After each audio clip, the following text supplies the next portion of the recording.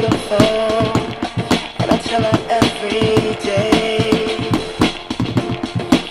Yeah, I know, I know. When I compliment her, she won't believe me, and it's so, it's so sad to think that she don't see.